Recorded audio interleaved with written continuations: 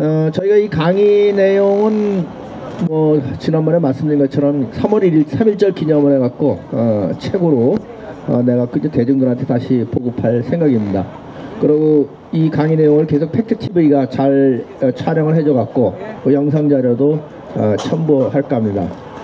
저희 전체 강의의 구, 구조가 아, 우선 이제 뉴라이트가 주장하는 어, 그 주장의 문제점을 한 4강을 했고 어, 그 다음에 한 것이 이제 어, 세계 다른 나라의 독일의 역사라든지 아니면은 이제 일본의 역사 아니면 이제 역사 교과서 필자를 통해 갖고 직접 어, 들어본 얘기 이렇게 해서 쭉 이제 어, 강의를 해서 어, 구조를 짰습니다. 사실 마지막 강의는 그러면 우리는 역사 교육을 왜 무슨 목적으로 어떤 방향을 갖고 해야 될 것인가 일정한 대안과 방향이 되겠습니다. 어떻게 보면 결론 부분이라고 할 수 있겠는데 어, 그 부분은 이제 오늘 김육훈 선생님께서 어, 해주실 것 같습니다. 사실 이 부분에 대해서 이제 뭐 여러 가지 역사 교육을 우리가 왜 하냐 그리고 어떤 방향으로 될 것인가 여러 가지가 얘기가 있을 텐데 어쨌든 저희가 생각하는 어, 이 교육의 역사 교육은 어떻게 할 것인가 어, 대한 얘기가 되겠습니다. 어, 오늘 김육근 선생님 소개드리고 또 한 번도 안 빠지고 어, 여기 아마 나오신 분이 있을 거라고 생각이 들어요. 그래서 이따 끝난 다음에는 종강기념에서 그분들 얘기도 또 한 두 두 분이 끝까지 안 빠지고 나왔죠? 우리 한 분은 여기 온 것 같고 또 한 분 왔어요. 아 그래요? 어, 한 번도 안 빠지고 오신 분 얘기도 있다. 끝난 다음에 한번 잠시 들어보면서 강의를 마무리할 겁니다. 우리 김육근 선생님 소개드립니다.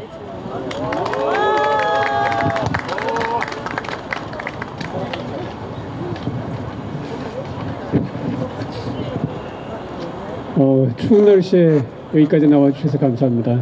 어, 저는 서울에 있는 독산고등학교에서 역사를 가르치고 있고요.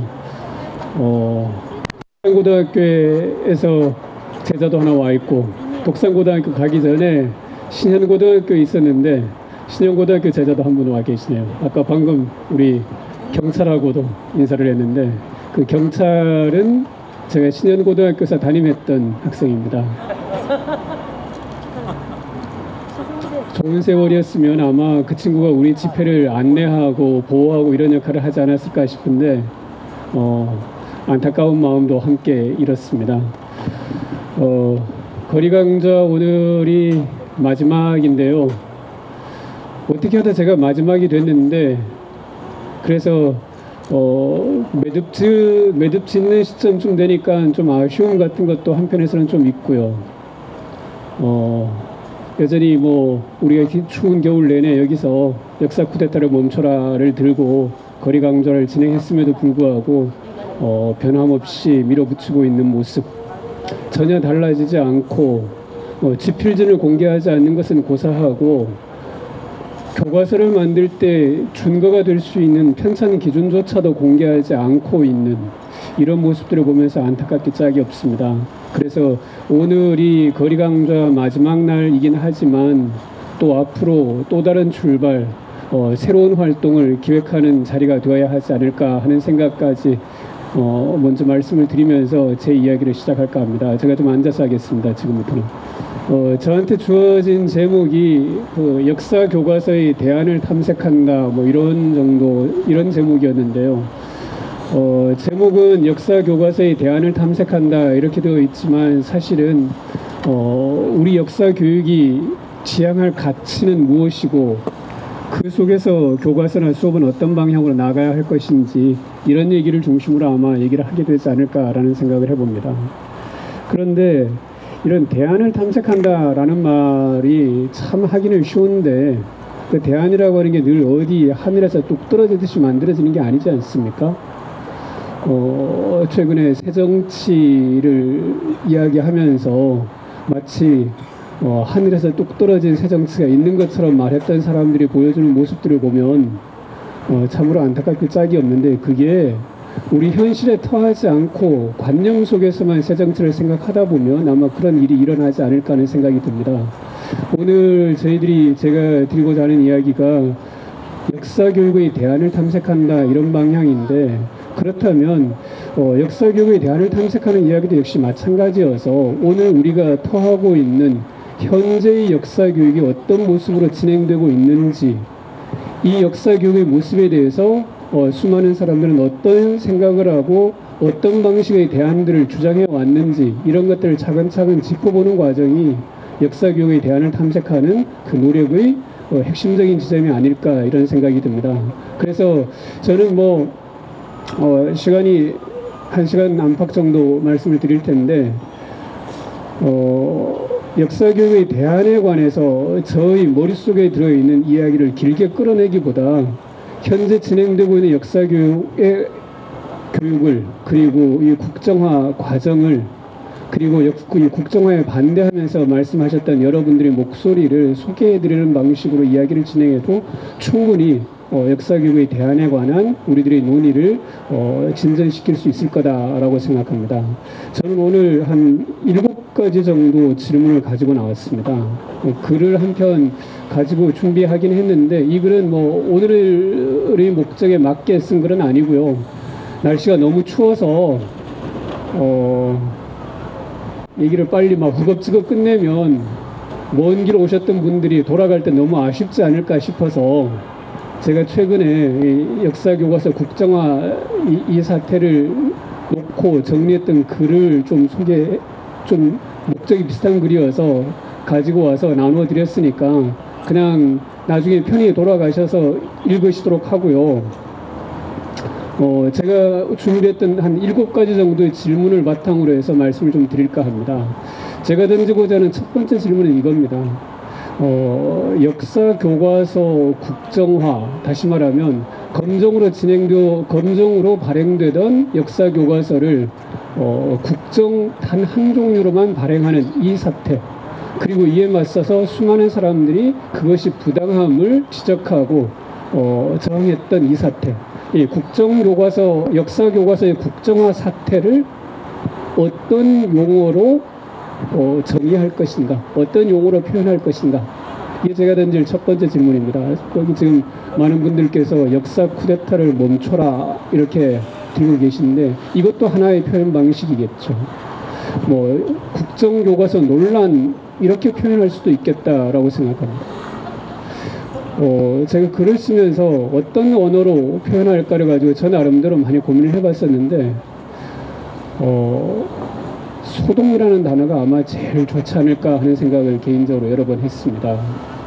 소동이라는 단어는 그게 그냥 안 일어났으면 괜찮다.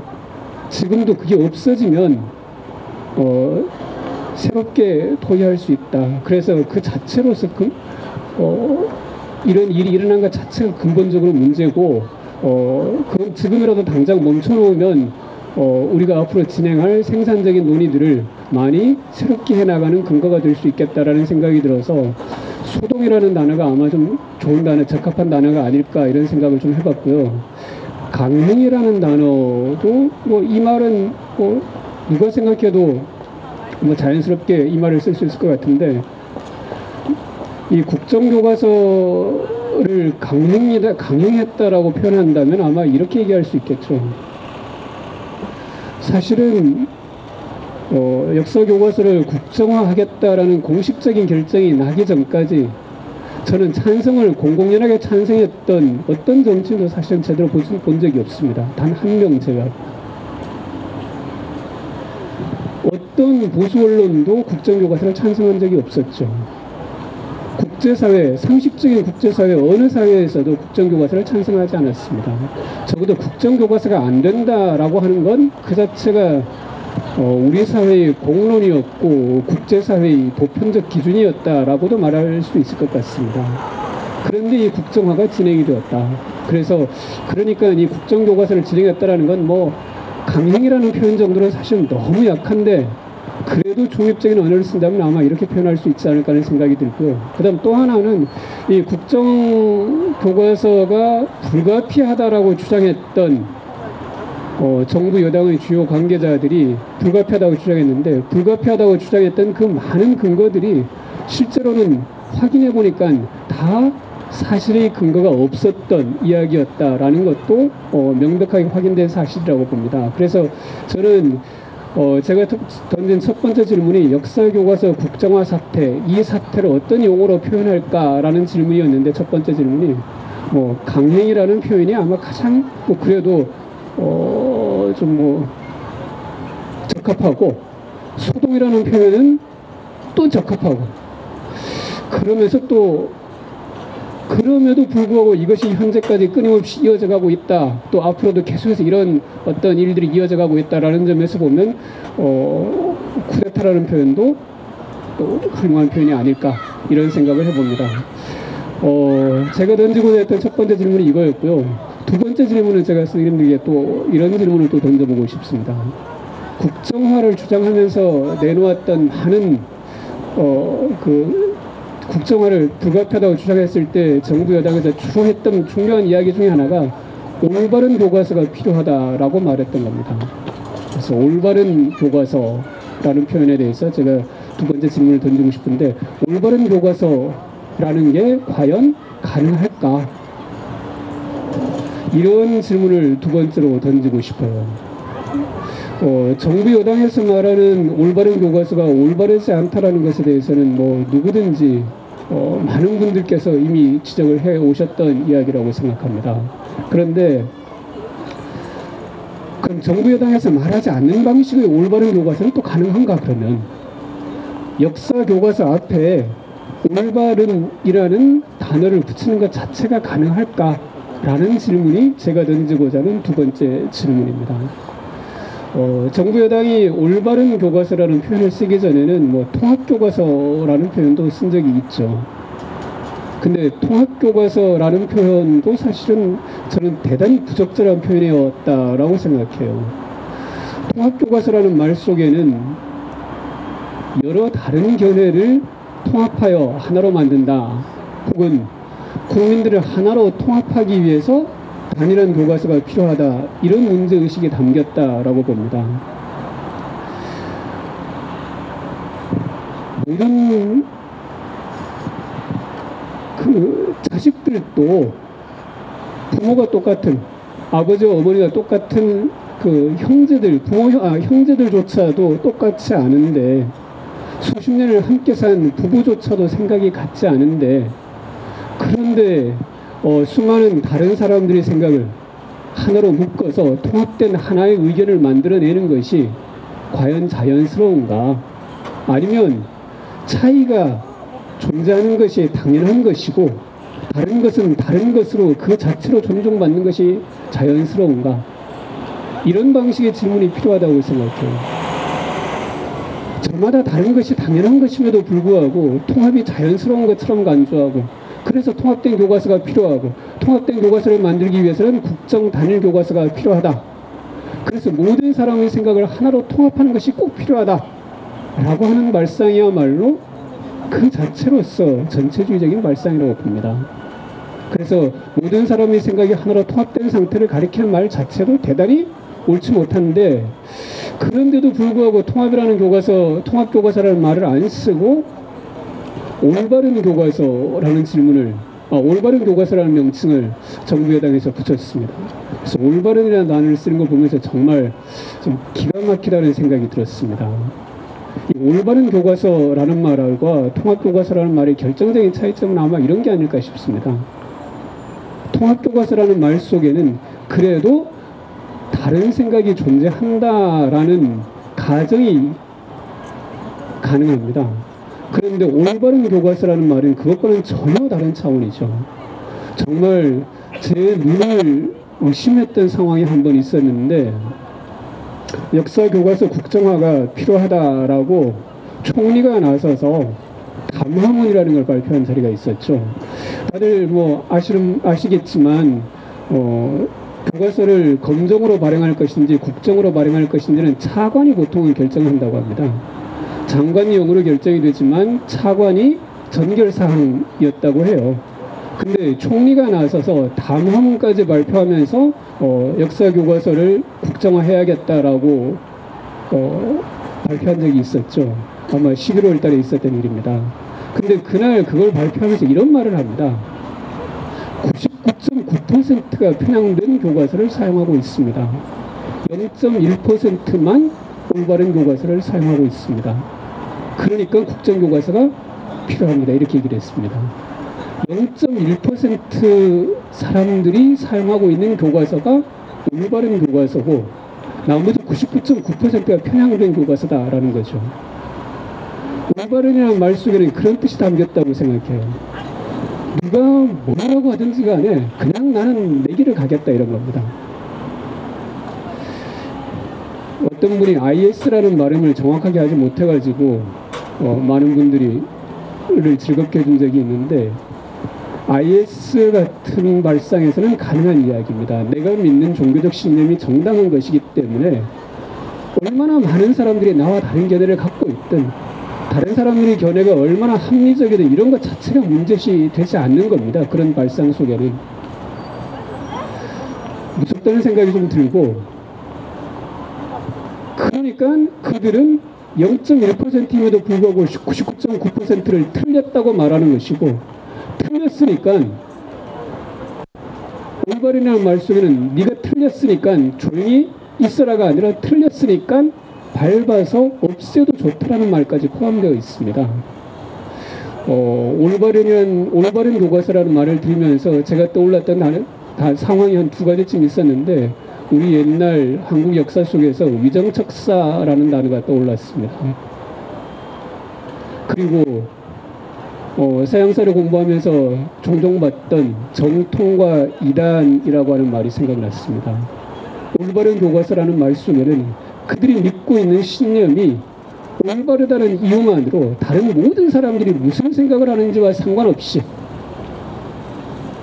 반대하고 반대하니까 밟아야 밟아서 죽이지 않으면 이단을 처벌하지 않으면 이단과 동조한다고 간주해 버리는 거죠.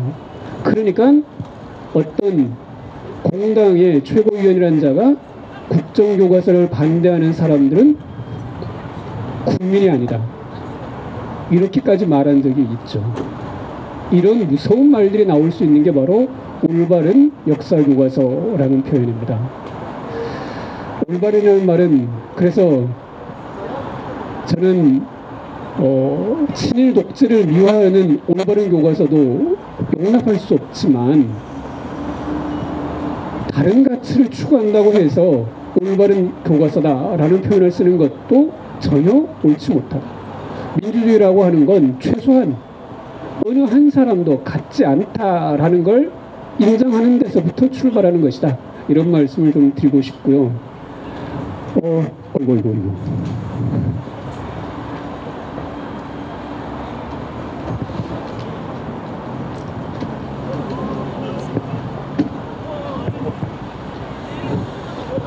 어, 이제 제가 한 일곱 가지 정도 질문을 준비해 가지고 왔다고 했는데요. 제가 두 번째 질문까지 말씀을 드렸고요. 세 번째 제가 이제 오늘 준비했던 질문은 이런 겁니다. 어, 엊그제 정말 황당무계한 일이 있었죠. 애국심. 아, 정말 제가 그 얘기를 들으면서 정말 황당했습니다.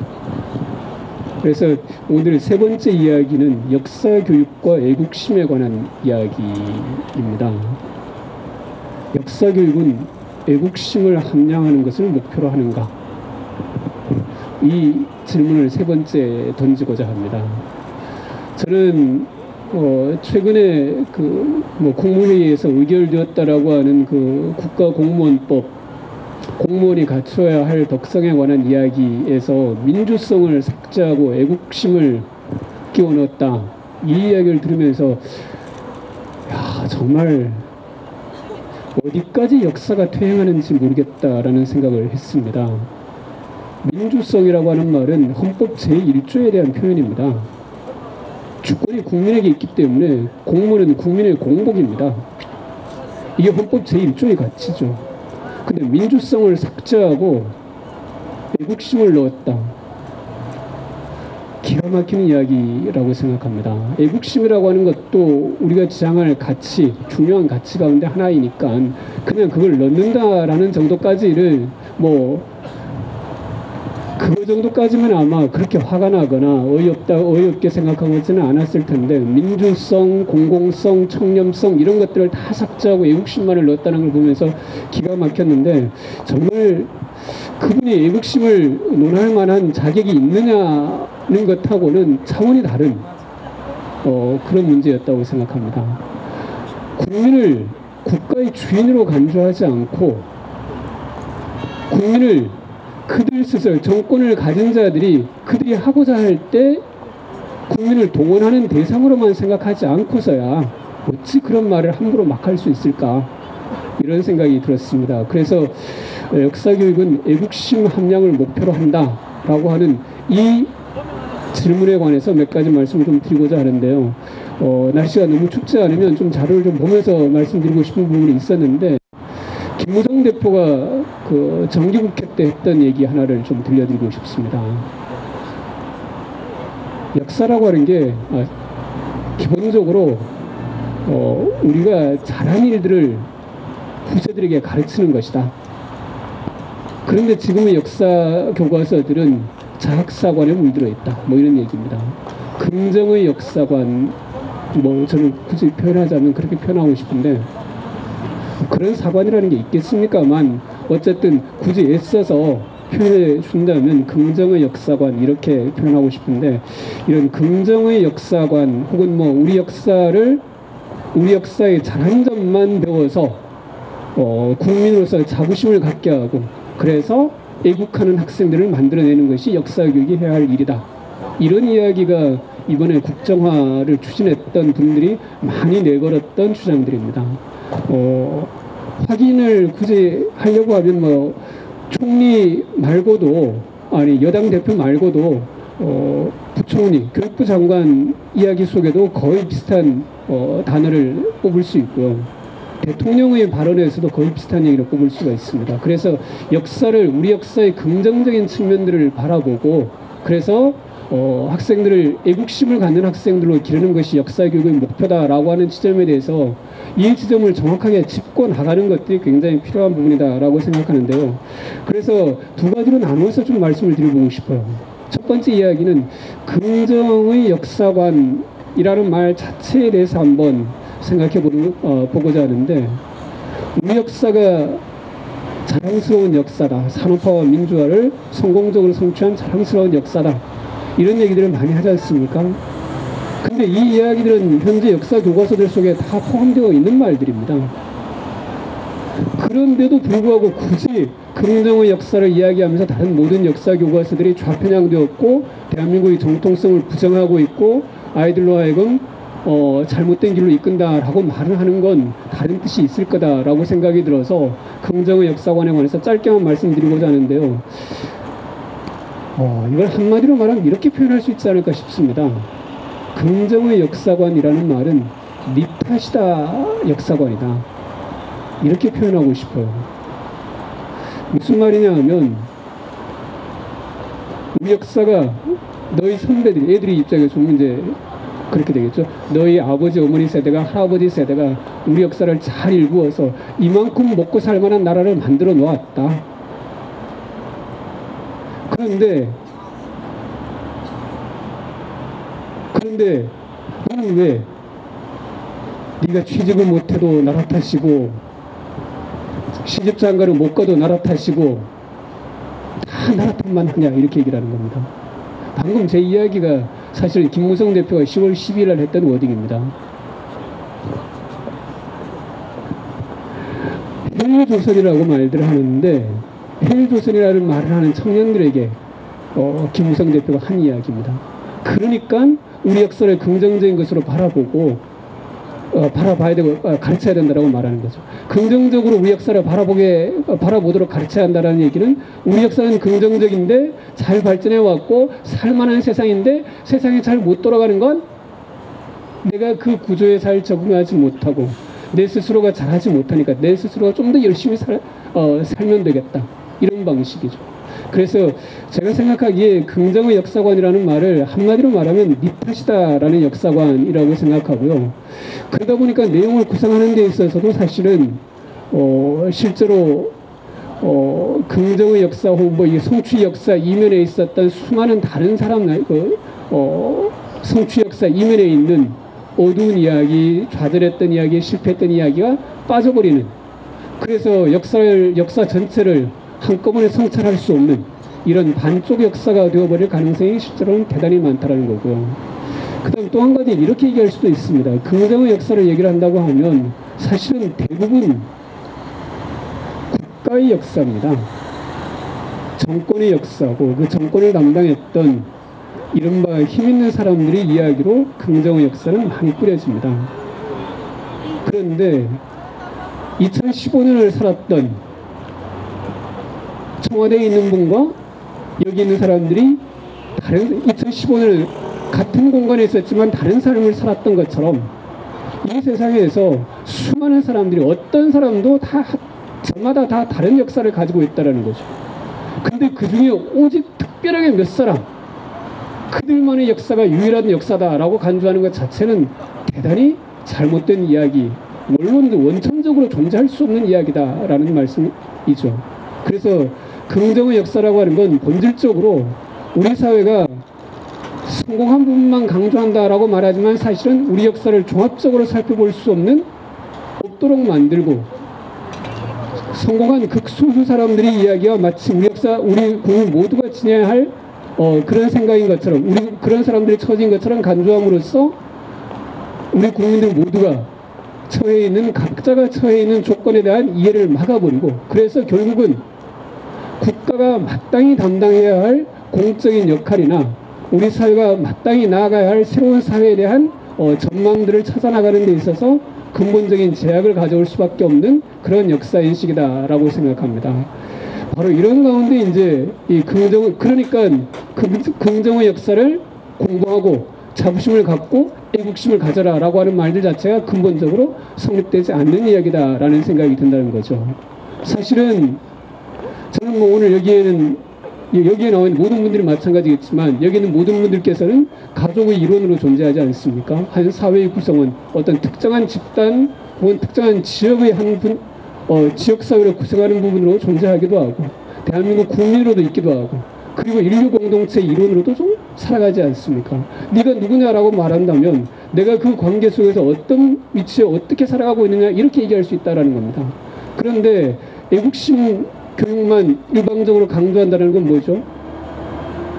한 사람이 한 사람의 개인으로서 그가 누릴 수 있는 권리에 관한 생각, 한 사회 구성원으로서 그 사회가 마땅히 누려야 할 자율성, 그 사회의 다원성 이런 것들이 부정되는 거죠. 인류 공동체의 한 구성원으로서 우리가 함께 해야 할 가치가 무엇인지에 대한 전망도 잃어버리는 거죠. 애국심만 강요하는 교육이 근본적으로 모든 사람을 국민이라는 점만 강조하게 하고 국경이라는 틀 속에 사람의 생각을 가두어 버린다라는 뜻입니다. 그래서 애국심 함량도 어, 학교가 지향할 가치 가운데 하나일 수는 있겠지만 그것만이 강요되는 교육은 이미 교육이 아닐 수도 있는 그런 대단히 우려스러운 이야기가 아닐까라는 생각이 듭니다. 나는 저는 제가 가르치는 학생이 그리고 제가 가르쳤던 수많은 학생들이 국가가 필요할 때 자신이 가졌던 모든 걸 내던지고 그 길로 나아가는 걸 지향하는 그런 삶보다는 스스로가 행복한 삶을 추구하는 그런 인간이 되었으면 좋겠습니다. 우리 모두는 각자가 행복하기 위해서 살아가는 것이고 더 행복하기 위해서 수많은 사람들과 관계를 맺으면서 우리를 행복하지 못하게 만드는 사회 구조를 바꿔가면서 살아가고 있는 거 아닙니까? 저는 아직도 생각이 나는 그 첫 문장 390석자의 첫 문장 우리는 민족 중흥의 역사적 사명을 띠고 이 땅에 태어났다라는 그 문장 정말 기가 막힙니다. 그런데 그 말을 요즘도 듣고 있다라는 생각을 하니까 더욱더 가슴이 아프고요. 자 어쨌건 뭐 날씨도 추워서 제가 말이 좀 중언부언됩니다만 세 번째 던지고자 했던 질문은 그겁니다. 역사 교육이 애국심 교육인가? 라는 말씀을 드렸고요. 어, 저는 이제 네 번째 이야기를 좀 드리고 싶은데요. 어, 긍정사관 혹은 뭐 긍정의 역사관이라고 하는 말에 대해서 조금 더 말씀을 드리고 싶은 건데 이 이야기는 앞에서 많이 해왔던 이야기라고 생각해요. 오늘 뭐 1강에서부터 9강까지 과정에서 어, 긍정의 역사관이라는 말 속에 담겨 있는 역사 인식에 관한 이야기는 많이 했는데 어차피 제가 오늘 조금 이따가 어떤 역사 교육을 지향할 것인가 하는 부분을 얘기하려고 하면 피할 수 없어서 짧게만 몇 가지 언급을 하고 가고자 합니다. 성공한 대한민국이란 내러티브 속에 숨겨진 이야기는 과연 무엇일까? 이게 이제 제가 준비했던 네 번째 질문입니다. 민주화, 산업화가 모두 다 교과서에 실려 있는데도 불구하고 이 교과서를 좌편향이다라고 말하는 건 산업화 중심의 역사 인식을 극단적으로 밀어붙이기 위한 과정이 아닐까 저는 개인적으로 그렇게 생각합니다.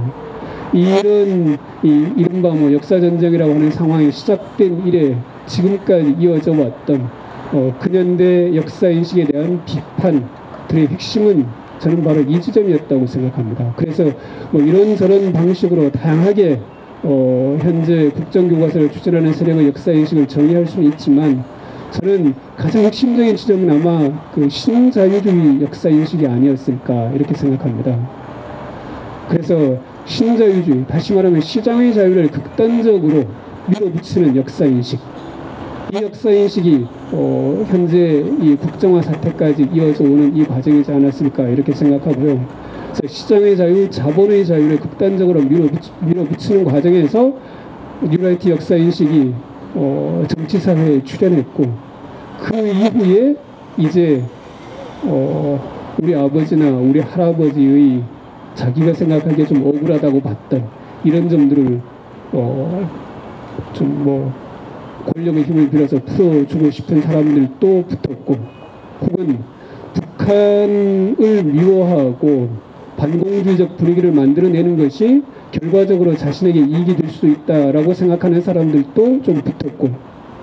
그래서 어, 교학사 교과서랑 뉴라이트 역사인식이 처음 출범했을 때랑 모습이 좀 다른데 어, 두 번째 교, 교학사 교과서 역사인식이 초기 뉴라이트 역사인식보다 훨씬 더 제가 보기엔 퇴행적이라고 봅니다.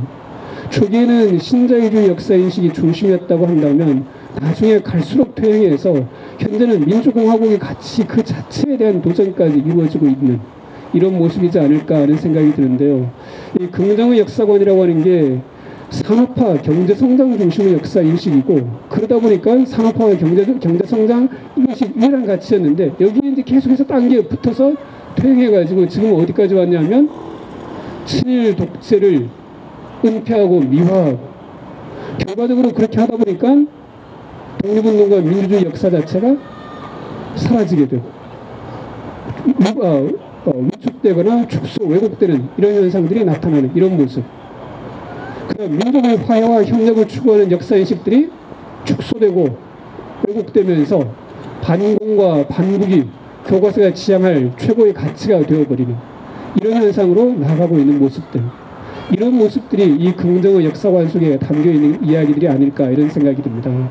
긍정의 역사관 뭐 신자유주의 아, 긍정의 역사관이라는 말 혹은 성공한 대한민국이라는 내러티브라는 말이 그래서 저는 굉장히 어, 좀 꼼꼼하게 따져서 하나하나 체계적으로 분석해서 잘 정리하는 그래서 우리 국민들이 정말 지향할 어, 새로운 역사 인식이 어떤 것이어야 할지에 대한 어, 공부와 어, 교육과 어, 토론들이 지금보다도 훨씬 더 활발하게 진행되는 게 어, 좋겠다라는 생각이 듭니다. 어, 긍정의 역사관과 관련해서 한 가지 조금 더 걱정스러운 게 어, 이런 점이 있습니다. 어, 지난번 2015 교육과정이 9월 달에 통과됐는데 그 교육과정에서 고대사 파트가 좀 늘었습니다. 그- 그게 또 좀 걱정스럽습니다, 사실은. 긍정의 역사관이라는 말을 내걸고 사실은 근현대사를 어, 그런 방식으로 가는 것만 해도 굉장히 걱정스러운데 고대사의 어, 한국 고대사를 또 왜곡하는 이런 현상이 나타나지 않을까 하는 생각이 좀 들어서 어, 좀 개인적으로 굉장히 걱정하고 있는 부분입니다. 어, 근현대사에서 친일 독재 미화 한다라는 비판들을 계속해서 들으니까 어, 그리고 어, 그러니까 이제 전근대사 쪽에서 어, 과거 우리 역사가 대단히 화려한 과거, 아, 역사를 가졌다. 과거 우리 민족이 대단히 화려한 역사를 가졌다라는 걸 의도적으로 부풀려 놓고 그래서 그걸 가지고 마치 현재 이 역사 교과서 국정화를 추진하는 세력들이 어, 친일 독재 미화 비판 논란을 잠재우려 하지 않을까 하는 걱정이 들어서 한편에서는 굉장히 걱정하고 있는 중입니다. 자 어쨌건 이제 네 번째 이야기가 어, 성공한 대한민국이란 내러티브에 어떤 이야기가 숨겨져 있을까 이런 얘기였고요. 아, 뭐 저도 성실현이 굉장히 추우시죠. 네 얘기를 하다 보니까 제가 사실 일곱 가지 질문을 준비해 가지고 왔는데 질문을 쭉 그냥 나열해 놓고 나니까 이거 책 한 권짜리라는 생각이 들었어요. 그래서 이 이야기를 재미있게 하려고 재미있게 할 수가 없겠구나라는 생각이 들긴 했는데 지금까지 하다 보니까 정말 정말 재미없다는 생각이 들었어요.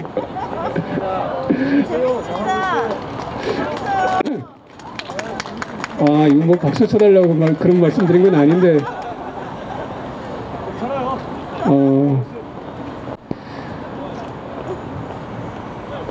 다섯 번째 제가 던지고자 했던 질문은 이런 겁니다.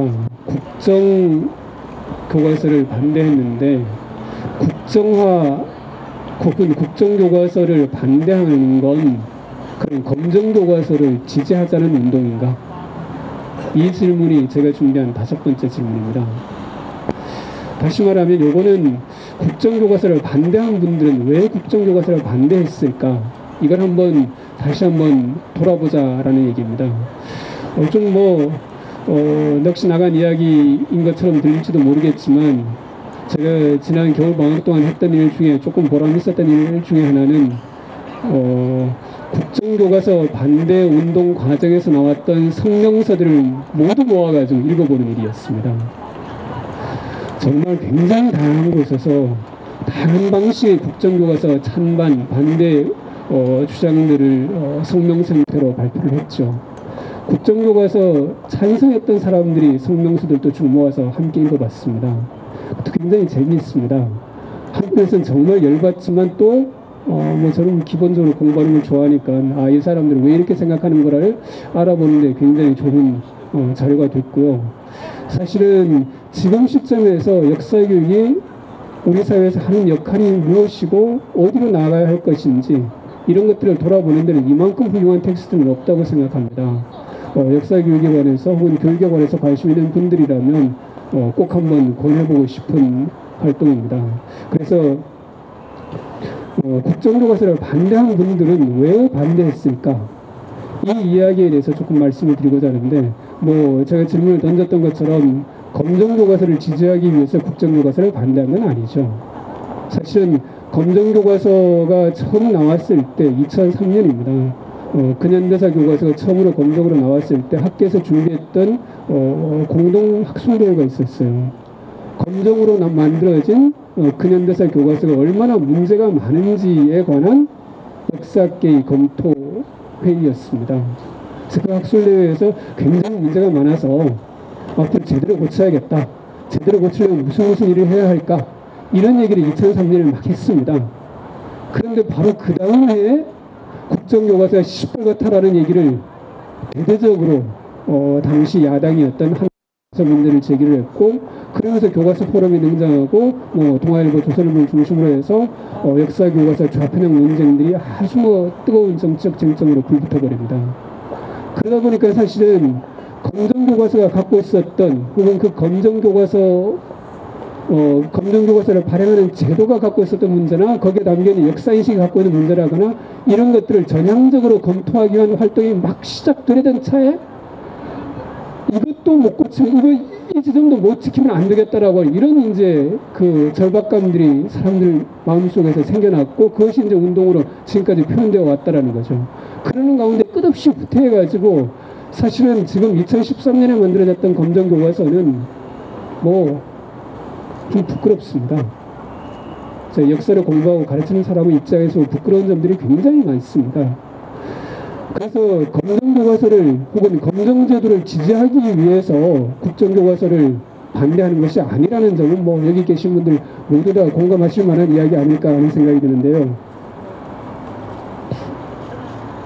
그래서 그 성명서도 쭉 읽어보면 검정교과서를 반대, 아, 이 국정화를 반대했던 분들은 보면 크게 보면 두 흐름이었다고 생각합니다. 한 흐름은 그 내용이 친일 독재 미화로 그럴 가능성이 대단히 많다.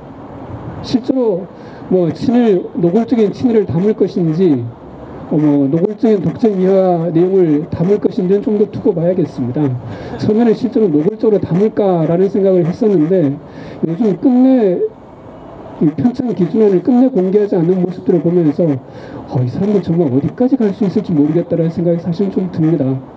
공공연하게 독재를 미화할 가능성도 있겠다라는 생각을 그런 우려가 요즘은 생기는 게 어, 사실입니다. 그런데 공공연하게 친일과 독재를 미화하지 않는다 하더라도 이들이 갖고 있었던 역사인식이 얼마나 문제가 많은지 앞에서 제가 충분히 말씀을 드렸기 때문에 그리고 앞에서 구강까지 많은 분들이 말씀해 주셨기 때문에 길게 얘기하지는 않겠습니다. 어쨌든 어, 교과서 내용이 친일과 독재를 미화할 가능성이 대단히 높기 때문에 국정교과서를 반대했습니다. 수많은 성명서들에 등장했던 이야기들은 아마 이런 이야기들이 굉장히 많습니다. 또 한 가지 국정교과서를 반대했던 중요한 이유 중에 하나는 그것이 어떤 내용이든 국가가 만드는 단일한 역사 교과서는 있을 수 없는 이야기다. 획일적인 역사 교육을 반대한다. 이것이 또 굉장히 중요한 어, 역사 어, 국정화 반대 운동의 한 흐름이지 않았을까 이렇게 생각합니다. 많은 역사 선생님들, 그 역사 선생님들 속에서는 주, 주된 의견이 아마 이 지점 아니었을까 싶어요. 어, 획일적인 역사 교육은 역사 교육이 아니다라는 거죠. 그것이 어떤 내용이 되었든 저마다 다른 삶을 살아갈 아이들에게 다른 빛깔의 삶을 살아왔던 아이들에게 국가가 단일한 생각을 주입하는 건 있을 수 없는 이야기다. 이건 반교육이다. 이런 교육적 가치로 인해서 아마 많은 분들이 역사교과서 국정원을 반대하지 않았을까 이렇게 생각합니다. 어, 그런데 일반 사회, 일반 시민사회에서나 정치권 내에서는 전자가 훨씬 조금 더 많았던 것 같습니다. 그리고 어, 이 두 가지 친일 독재를 미화하는 국정교과서를 가지고 주입하려고 한다는 이 우려가 있어서 이 반대 여론이 정말 뜨거운 정치적 쟁점으로 부각되지 않았을까 이런 생각이 들고요. 그래서 전체적으로 보면 어, 큰 차이, 수많은 성명서들 사이에 큰 차이를 보이지는 않습니다. 그런데도 이제 예, 국정교과 이, 어, 큰 차이를 보이, 보이 지 않는 선에서 이 두 가지 사이에서 이제 빚어지는 변주가 어, 국정교과서 반대 성명서들에서 쭉 나오는 이야기고요. 그럼에도 불구하고 이제 일부 역사 교과서, 아, 일부 성명서들 쭉 살펴보면 그 속에서 어, 이 긍정의 역사관 혹은 친일 독재 미화라고 하는 것이 본질적으로 친자본, 반노동, 신자유주의적인 역사 인식이다라는 문제를 지적한 그리고 본질적으로 교과서라고 교과서라고 하는 것이 필요한가? 교과서라고 하는 것이 본질적으로 필요한가? 검증은 또 얼마나 문제가 많은가? 그래서 어, 적극적으로 어, 교과서 제도의 전면적인 개혁을 주장하는 이런 흐름들도 적지 않게 어, 등장합니다. 그래서 어, 국정화 반대가 그 검정 교과서 지지는 아니었고 우리 사회가 지향할 역사 교육, 우리 사회가 지향할 가치나 우리 교육 혹은 역사 교육이 지향할 가치에 대한 어, 전면적 성찰의 과정이었다라는 점은 굉장히 소중한 어, 경험으로 우리에게 남을 수 있겠다라는 생각을 해봤습니다.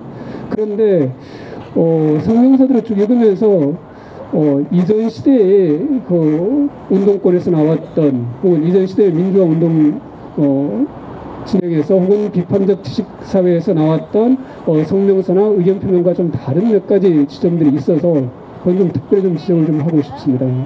국정교과서를 반대하는 논거를 찾아감에 있어서 이전과 좀 달랐던 점을 저는 한 몇 가지 정도 볼 수 있었는데 첫 번째는 이런 거였습니다. 헌법 이야기가 참 많이 등장합니다. 민주공화국의 가치 이런 이야기가 많이 등장합니다. 국가 혹은 대한민국이 어떤 국가여야 할 것인가 이런 이야기들이 생각보다 굉장히 많이 나옵니다. 그래서 국정 교과서를 반대하는 혹은 친일 독재 미화 교과서를 반대하는 논거를 헌법과 민주공화국의 가치에서 찾아가려는 노력들이 어, 많이 등장했다라는 점은 어, 이전과는 좀 달랐던 지점이지 않을까 이런 생각을 해봤고요. 그다음 또 하나는 어, 이거는 이제 그 일본 역사 교과서 외국에 대한 반대 운동의 과정에서 혹은 뭐 국제사회에서 역사 교육에 관한 성찰의 과정에서 획득 된 성과이기도 한데 어, 역사 교과서 문제를 국제적 인권 기준에 비추어서 혹은 인권이라는 언어를 바탕으로 해서 우리 역사 교과서 문제를 새롭게 조명하기 시작했다라는 점도 굉장히 소중한 어, 지난 한 해 동안 우리가 거둔 성취가 아닐까 이런 생각을 해봅니다. 어, 2013년 2013년 유엔 총회에서 어, 문화적 공개에 관한 특별조사관의 보고서라고 하는 게 채택된 적이 있었죠. 그리고 그곳에서 어, 역사 교육이 일반적으로 지향할 가치, 어, 역사 연구와 교육이 지향할 어, 바람직한 태도, 교과서 발행 제도, 교사 역할 등등에 관한 보편적 아, 국제적 기준에 관한 제안을 한 적이 있습니다. 그래서 그런 그 문서가 우리 사회에 소개됐고 그리고 그걸 계기로 해서 인권이라는 언어를 바탕으로 해서 혹은 국제적 표준이라는 언어, 어, 새로운 기준을 바탕으로 해서 우리 역사 교육 문제를 바라보기 시작했던 점도 굉장히 중요한 어, 전환점이었다. 어, 이런 생각이 들었고요. 그 다음에 또 하나는 학생이었다고 생각합니다. 학생과 교육 이것을 새롭게 발견하지 않았나 하는 생각이 듭니다. 어, 뭐 예전에도 고등학생 운동이 있었고 청소년 운동이 있었지만 이번 국정화 국면을 거쳐오면서 교육이라고 하는 것이 아무것도 모르는 학생들에게 무엇인가를 주입하는 행위가 아니다. 아이들 스스로가 발견해가는 것이고 아이들 스스로가 성장할 수 있도록 어른들이 어떤 역할을 해야 할지 생각을 바꾸는 중요한 계기가 되지 않았나 하는 생각이 들어요. 그래서 그래서 이 국정화 반대 운동은 저마다 다른 학생들이 주체적인 시민으로 성장할 수 있도록 교육이 어떻게 기여해야 할 것인지를 새롭게 조명하는 과정이 되었다라는 생각을 개인적으로는 했고요. 그리고 이런 얘기들이 다, 이런 얘기들을 담은 어떤 활동 과정을 증명하는 문서들도 적지 않게 있었다라는 생각이 들었습니다. 어, 그래서 이 국정화 반대 운동은 결과적으로 보면 국정교과서가 어, 현실화되어 있지만 국정화 반대 운동에 나섰던 사람들이 결코 실패하거나 패배하지 않았던 어, 우리 사회가 무조건적으로 퇴행한 것이 아니라 또 다른 진전을 위한 중요한 디딤돌을 만든 이런 과정이었다라고도 개인적으로는 평가하고 싶다 이런 말씀을 드리고 싶습니다. 자 이제 시간이 얼마나 갔는지 모르겠는데 이제 대안에 관한 얘기를 뭐 할 시간이 다가온 것 같습니다. 근데 이미 제가 제 말 속에서 지향할 대안적 가치에 관한 말씀들을 많이 드렸는데요. 어, 역사 교과서 어, 이제 제가 던져 준비한 여섯 번째 질문이 이거였습니다. 대한교과서 운동을 어떻게 볼 것인가? 이 이야기입니다.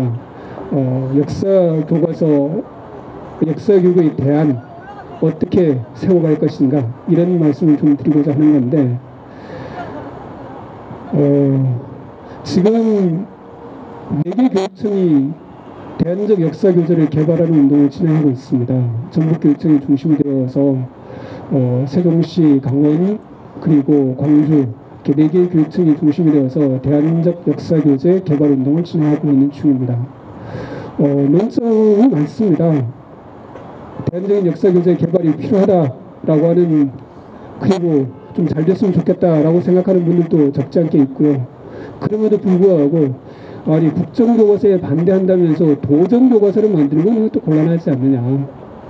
국정교과서를 위로부터 강요하는 것도 옳지 않지만 또 다른 형태의 국가 권력이 어, 또 다른 형태의 어, 그런 일종의 전본을 만들어서 어, 이걸 가지고 가르쳐라라고 하는 것도 적합하지 않다라는 어, 지적도 뭐 중요한 지적이라고 생각합니다. 저는 그 말도 맞다고 생각합니다. 두 가지 말들이 다 나름대로 설득력이 있다라고 생각하는데 그래서 역사 교육의 대안에 관한 얘기를 대안을 세워가는 이야기에 관한 말씀을 좀 몇 가지 좀 드리고자 하는데요. 사실은 어, 국정화 반대 운동 과정에서 대안적 역사 교육을 우리가 논의하고 있긴 하지만 이 이야기는 10년 전이나 20년 전에 우리가 했었던 이야기들입니다. 국정교과서는 만들어진 지 43년 됐죠. 2016년으로 43년째가 될 겁니다. 아마 43년째가 되는데 국정교과서는 처음 만들어졌을 때부터 심각한 문제가 있다는 지적들이 되어왔고 그래서 국정교과서를 반대하고 대안적인 역사 교육을 설계하기 위한 노력들은 활발하게 진행되어 왔습니다. 1980년대 들어오면 그 모습들이 좀 구체화되기 시작해서 2000년대 이르기까지 다양한 방식의 대안적 역사 교육을 설계하기 위한 노력들이 이루어져 왔던 것이 사실이고요. 그래서 만일 2003년, 아 2004년 이후에 역사전쟁이라고 말하는 이런 황당한 사태가 없었다면 우리 역사 교육은 지금보다 훨씬 더 다양한 빛깔로, 훨씬 더 창조적인 방식으로, 훨씬 더 아이들의 삶에 기여할 수 있는 방향으로 만들어져서 운영 잘 되고 있었으리라고 생각합니다. 그 흐름이 근본적으로 좌절된 게 지금부터 10년 전, 10, 아, 어, 10년 전부터 시작해서 지금까지 이어온 이런 과정들이죠. 국정교과서에 대안을 탐색하는 노력들은 뭐 몇 가지 관례로 이루어졌는데 역사께서 얘기했던 건 역사께서는 국정교과서가 담고 있었던 역사 인식 자체에 대해서 문제를 제기를 했었죠. 그래서 어, 길게 말씀드릴 수는 없지만 역사 교과서가 민중의 이야기를 담아야 한다라는 말을 하기 시작했고 역사학과 역사 교육이 우리 사회를 바람직하게 살아 아, 우리 사회를 제대로 살아갈 수 있는 건강한 시민을 만드는 데 기여해야 한다. 그래서 과학적이고 실천적인 역사를 해야 한다. 이런 말 이런 이야기가 한 흐름을 형성했었고 또 나아가서 어떤 이야기도 모든 사람의 이야기를 다 들을 수 있어야 한다. 다양한 이야기에 귀, 귀 기울여야 한다. 단일한 역사는 존재하지 않는다. 이런 식의 이야기들도 역사학에서는 해왔던 거죠. 그래서 역사학은 진작 부터 국정 단일 내러티브를 거부, 어, 반대하는 방식의 다양한 대안들을 탐색해 왔다. 이렇게 말씀드릴 수 있고요. 역사 교사들도 진작부터 국정교과서 방식이 아니라 단일한 형태의 역사 교육이 아니라 다양한 대안들을 만들어서 대안적인 역사 교육들이 실천되어야 한다라는 노력들을 해왔습니다. 2002년에 그 결실 가운데 하나가 나왔었는데 그때 나왔던 책 제목이 아마 살아있는 이런 형용사가 붙은 책들이었습니다. 살아있는 한국사 교과서, 뭐 살아있는 세계사 교과서 이런 방식이었습니다. 수사가 살아있는 이라는 표현이 붙었던 건 그렇습니다. 역사라는 것이 화석화된 과거에 대한 지식을 암기하는 것이 아니다. 역사 공부는 내일을 살아갈 아이들의 삶과 직접 연결되어 있고 역사를 공부한다는 건 역사 속으로 돌아가서 자기 삶을 어떻게 가꾸어 갈 것인지 수업의 과정 속에서 아이들이 살아있도록 만드는 것이어야 한다. 살아있는 이라는 사실 그 말을 그런 말 저희들이 지, 제가 지어낸 말입니다. 그때 지어낸 말이고 창간서도 그때 제가 썼는데 창간서를 쓰면서 제가 생각했던 말들입니다. 살아있는 역사교육 이런 것들을 실현하기 위해서 어, 뭐 새로운 책들을 만들었는데 그런데 그 책을 만든 것보다 훨씬 더 중요했던 이야기는 이거였습니다. 2002년에 저희들은 그 책을 냈습니다. 살아있는 한국사 교과서라는 책을 냈는데 그 책을 만들면서 저희들이 했던 얘기는 우리가 정말 공들여서 책을 만들었으니까 많이 사주세요라는 얘기를 하지 않았습니다. 우리가 만든 책은 다른 것이 가능하다는 걸 보여드리기 위함이다. 선생님들께서는 각자 자기가 서 있는 곳에서 선생님들이 만나는 아이들에게 가장 맞는 방식으로 선생님이 가장 잘 하실 수 있는 방식으로 선생님들의 교재를 만들어서 쓰시라. 우리가 이 교과서를 만드는 과정에서 있었던 수많은 자료들은 다 공개하겠다. 다 공개하고 그럴 테니까 각자 내 아이에게 가장 맞는 그런 교육을 하자. 이 이야기를 저희들이 해왔습니다. 대안적 역사 교육을 모색하기 위한 또 하나의 흐름은 일본과 중국에서 제공했습니다. 일본과 중국의 역사 문제, 뭐 근현대사 혹은 뭐 고대사를 놓고 일본과 한국 사이에 역사 분쟁이 적지 않게 이어졌죠. 그걸 보면서 이런 얘기를 이런 생각을 했습니다. 당시 역사학교와 역사교육계는 그, 그러니까 우리가 일본과 혹은 중국과 싸워서 이기기 위해서는 역사를 더 많이 공부해야 한다. 이런 얘기하지 않았습니다. 저희들은 이런 생각을 했습니다. 역사는 역사는 잘 공부하면 새로운 미래를 개척하는데 많은 도움을 줄 수도 있겠지만 역사를 잘못 공부한다는 건 심각한 국제 분쟁의 소재 아, 국제 분쟁으로 이어질 수도 있다. 역사 교육이 국가주의적 가치에 매몰되어 버릴 경우 어떤 일을 가져올 수, 가져올지 모른다 이런 생각을 했습니다. 그래서 저희들은 이런 생각을 했죠. 국가의 경계를 뛰어넘어 함께 평화를 추구하는데 역사는 어떻게 기여할 수 있을까 이런 생각을 했습니다. 그래서 공동 역사 교과서를 만들기 위한 운동들을 펼쳤고 공동 역사 교과서를 만들기 위한 운동을 하면서 책 한 권 내는 게 아니라 어떤 역사 인식을 함께 만들어갈 것인지 활발하게 토론하고 대화하고 어, 서로 상대 국가에 가서 어, 세미나하고 수업하고 이런 활동들을 활발하게 전개했죠.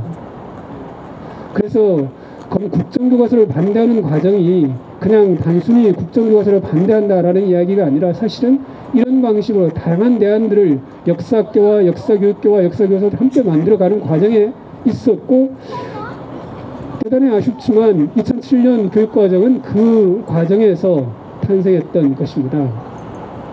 2007 교육과정이 제대로 이루어 어, 제대로 현장에 뿌리박지 못하고 사라진 것이 저는 개인적으로 굉장히 아쉽게 생각하는데 물론 뭐 썩 잘 만들었다. 그러니까 이게 최고다 그런 생각을 하지는 않습니다. 그런데 적어도 대안을 본격적으로 논의할 수 있는 기초는 만들었다라고 생각했는데 그것이 구체화된 시점은 이명박 정부 때입니다. 이명박 정부 들어서면서 교육과정 자체가 폭력적인 방식으로 바뀌어져 버렸고 그러면서 그 다음에 내용에 관한 어, 어, 뭐, 뭐 쿠데타라고 또 말할 수 있는 역사 쿠데타라고 말할 수 있는 이 내용에 관한 국가 권력의 개입이 본격화되고 이렇게 되면서 어, 2007년 정도까지 역사 교육의 대안들을 탐색하기 위한 수많은 노력들이 어, 거두어낸 어, 이루어낸 최소한의 성과조차도 사실은 아쉽게 어, 제도화되지 못했던 그런 상황이었다라는 말씀을 드리고요. 그 다음 이제 한 가지 더 지적하고 싶은 건 대안을 탐색하는 과정에서 한 가지 더 탐색하고 아, 말씀드리고 싶은 건 어, 이 국정화 국면에서 두 가지 의미 있는 제도적 조치가 있었다라고 생각합니다. 하나는 이제 경기도 교육청 에서 뭐 진행된 역사교육 조례에 관한 얘기인데요. 경기도 교육청이 역사교육에 관한 조례를 만들어서 앞으로 열심히 역사교육을 하겠다.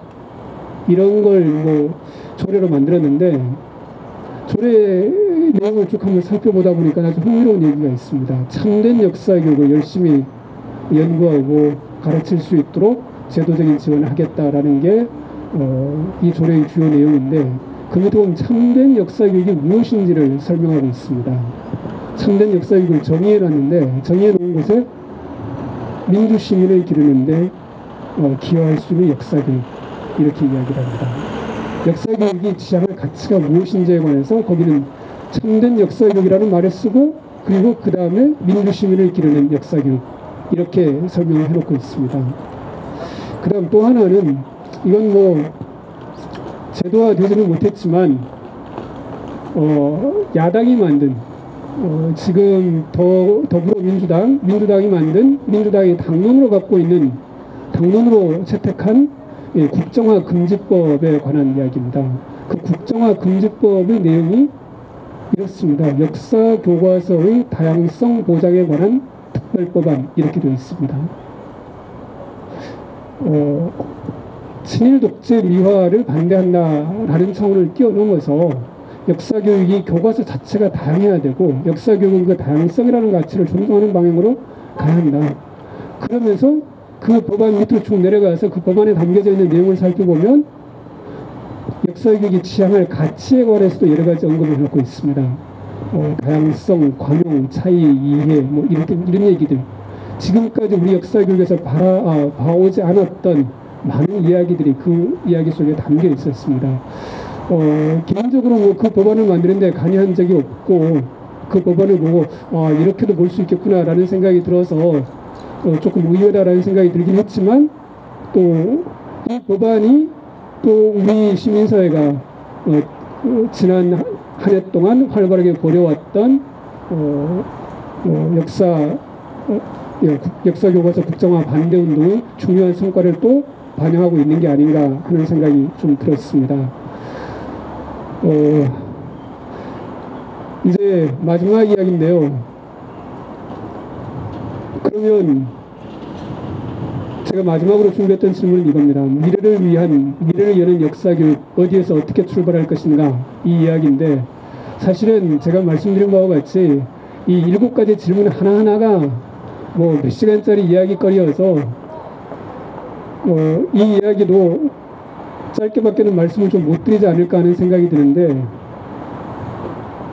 최근에 저는 최근에 생각하고 있는 거 한 가지 한 두 가지 정도 말씀을 드리고요.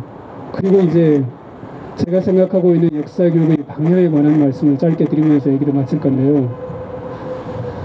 어, 저는 최근에 이런 생각을 하고 있습니다. 어,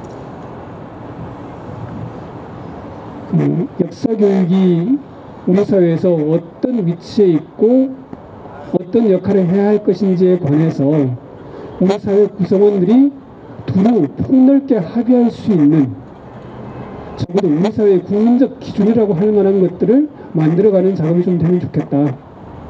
이런 생각을 해보고 있습니다. 예전에 1970년대에 있었던 일인데요. 그 분단 독일에서 그런 일이 있었죠. 거기도 좌우 논쟁이 굉장히 심했고 그래서 좌우 사이에서 각자 저마다의 방식으로 정치 교육들을 하니까 그러니까 정말 굉장히 어려운 문제들이 많이 발생했을 것은 뭐 두말할 나위가 없겠죠. 그래서 거기에서는 이런 일을 했다고 합니다. 좌우를 대표, 대표할 수 있는 사람들이 만나서 함께 우리 사회가 지향할 어떤 교육의 기본적 기준 정도는 함께 만들어서 적어도 네가 좌파든 우파는 떠나서 최소한 이런 정도 서로 지켜야 할 지점 선을 지키면서 함께 시민교육을 해가자 이런 것들에 관한 토론을 시작했다고 합니다. 그래서 수많은 학자들이 모이고 이런 것들이 널리 알려지고 그렇게 하면서 적어도 그것이 어떤 뭐 국가 권력의 법으로 만든 것은 아니었음에도 불구하고 그렇게 해서 만들어진 기준이 도덕적 정당성을 일정에는 확보를 했고 그래서 그런 것들이 어 적어도 그 독일 사회의 교육을 진전시키는 데 적절하게 기여했었다라는 생각들을 그런 어, 그런 일이 있었는데 뭐 굳이 비교하자면 이걸 직접 비교할 수는 없지만 어 지금처럼 국정화 문제를 놓고 활발한 찬성의 진영이든 반대하는 진영이든 간에 활발한 토론들이 있었다고 한다면 정말 되지도 않는 거짓말 가지고 지원해서 국정화를 해야 한다라고 억지 부리지 말고 정말 역사 교육에 지향할 가치가 무엇인지 이런 것들에 관한 활발한 토론들이 체계적으로 이루어져서 우리 사회의 교육과 역사 교육에 지향할 가치에 관해서 폭넓게 토론이 이루어지는 계기가 마련되는 것이 좋겠다. 그럴 수 있다면 뭐 우리 사회가 지불했던 이 엄청난 사회적 비용도 나름대로는 가치 있는 일이 될 수 있겠다라는 생각이 들어서 일을 어떻게 좀 될 수 있도록 만들어 보면 될 수 있도록 만들어 봐야겠다라는 생각을 개인적으로는 좀 하고 있는 중이고요. 그 다음에 이제 역사교육 혹은 뭐 역사교육뿐만이 아니라 교육이 일반이 지향하는 가치를 전제한 바탕 위에서 어, 역사교육 문제도 이 교과서 문제에 대한 대안을 탐색하는 노력도 이루어져야겠다라고 생각하는데 어, 어떤 방식으로 토론하든지 간에 두 가지는 전제가 되어야 된다라고 생각합니다. 첫째는 어른이 애들을 가르치는 게 아니다라는 점이 먼저 좀 전제되어야 할 것 같습니다. 아이들이 스스로 주체적인 인간으로 성장할 수 있도록 어른들이 어떻게 도울 것인가 이런 점을 전제로 하고 모든 토론이 이루어져야 하겠다. 이게 첫 번째 전제고요. 그 다음 두 번째 전제는 애국심이라는 이름 아래 국민 개인의 권리나 시민사회의 다원성, 자율성 그건 인류 공동체의 구성원으로서의 가치 이런 것들을 억압하지 말고 한 사람이 다양한 방식으로 존재한다라는 점을 인정한 바탕 위에서 모든 이야기가 출발해야 한다. 이런 말씀을 좀 드리고 싶고요. 이렇게 한 바탕 위에서 이제 우리 역사교육이 지향할 가치, 뭐 교과서, 대안적 교과서의 뭐 모색 대안적 교과서의 방향 이런 것들에 관해서 이제 한 네 개 정도의 명제로 간단하게 좀 정리를 좀 해보고 싶은데요. 이거는 제가 오늘 참가하신 분들에게 나누어드린 글의 마지막 페이지에 나와 있는 얘기들입니다.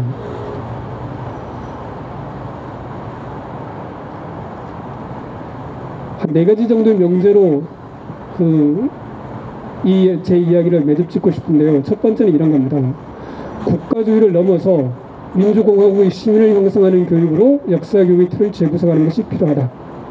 다시 말하면 학교 교육 자체를 이렇게 정의해 놓고 그 속에서 역사 교육이 어떤 역할을 할 것인지를 고민하자. 이게 첫 번째 이야기고요. 그 다음 두 번째는 역사 교육의 형식과 내용에 관한 저희 생각입니다. 저는 개인적으로 국사라는 말은 뭐 좀 안 좋아하는 말입니다. 한국사와 세계사를 의 경계를 넘나들면서 역사를 공부하는 것이 맞다고 생각합니다. 그래서 두 번째 명제는 이렇습니다. 한국사와 세계사를 통합한 역사 교과를 만들어서 만들고 현재에 가까운 역사를 좀 더 자세하게 공부하고 그래서 그 속에서 인간의 삶에 대한 성찰을 바탕으로 바람직한 미래를 설계할 수 있도록 도와야 한다. 세 번째는 역사 수업에 관한 이야기입니다. 이 이야기도 사실은 제가 지금까지 이미 여러 차례 말씀을 드렸는데 국정교과서를 만들고자 제가 말씀드리고자 하는 세 번째는 학생은 내용의 주체로서 끊임없이 자신의 생각을 구성하고 재구성하는 존재다. 그래서 역사는 아이들의 삶과 직결된 이야기를 가지고 역사 수업을 하자라는 말씀을 드리고 교실 밖에서 논쟁적인 건 마땅히 교실 안에서도 논쟁적으로 제기되어야 한다. 애들은 무식하고 모르니까 어른들이 생각해서 어른들이 생각하고 어른들이 될 때까지 순수하게 길러야 한다는 건 사실은 전혀 옳지 않은 말이다. 밖에서 논쟁적인 건 마땅히 안에서도 교실 안으로 가져와서 논쟁적인 논쟁할 수 있고 어, 그렇게 수업을 구성해야 한다. 네 번째 명제는 그러니까 그렇다면 바람직한 역사 교과서는 무엇이어야 할까? 이 이야기입니다. 많이 말씀드린 바와 같이 모두에게 맞는 교과서는 있을 수 없다. 저마다 다른 아이들에게 다른 교재를 가지고 수업하자. 이게 제가 드리고 싶은 그 네 번째 교과서에 관한 명제입니다. 어, 재미없었죠? 제 이야기는 여기까지로 일단 매듭하겠습니다.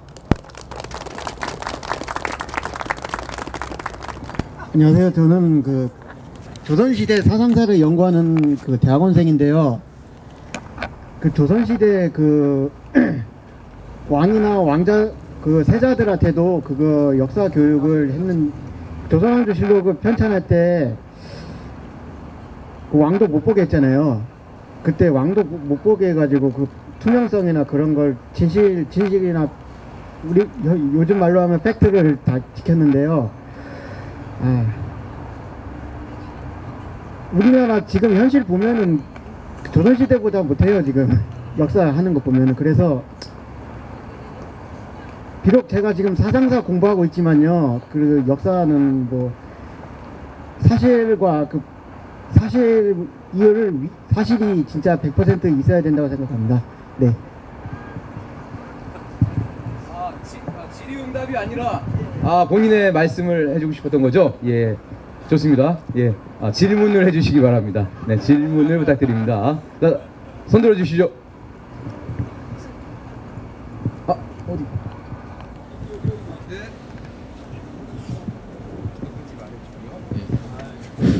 네, 저기 두 번째부터 이번에 마지막 역사과까지 참석하게 된 고등학생 이혜민이고 현재 역사 교사 지망 중인데 선생님한테 이제 제가 미래 역사 교사로서 선생님이 말씀하셨던 그 역사 교육에 대한 가치와 제가 나아가야 될 그런 방향성에 대해서 조언을 듣고 싶습니다. 아, 네. 아주 중요한 대답이 돼야 될 것 같습니다. 한 사람의 인생이 걸려 있는. 네. 잘 말씀해 주십시오.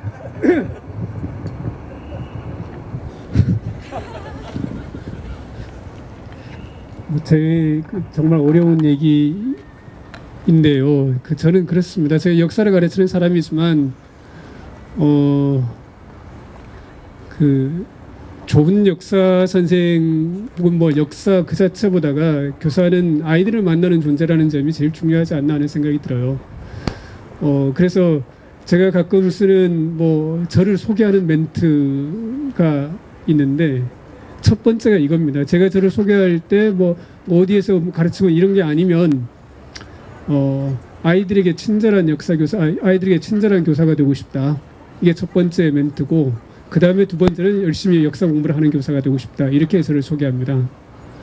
어, 좁은 역사 교사이기 이전에 친절한 아이들의 입장에 설 수 있는 교사 라는 점이 제일 중요하지 않나 하는 생각이 들고 아이들과 함께 하면서 정말 아이들을 어른으로 생각하고 그들이 훌륭한 시민으로 자랄 수 있도록 교육하는 것이다 라는 생각을 하다 보면 역사를 열심히 공부해서 잘 가르치게 되지 않을까라는 생각을 합니다.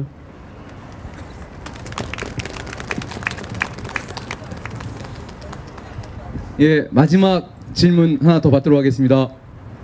손 들어 주십시오. 어, 없습니까? 어, 진짜 없으신 거죠?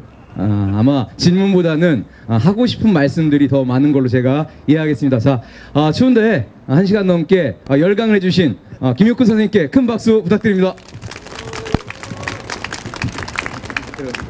예, 그럼 곧바로 어, 간단하게 어, 역사 교과서 국정화 저지를 위한 어, 몇 번째인지 모르는 어, 문화제를 어, 잠시 이어서 진행하도록 하겠습니다. 아, 저는 어, 경기 성남의 돌마고등학교에서 역사를 가르치는 김남수라고 합니다. 반갑습니다.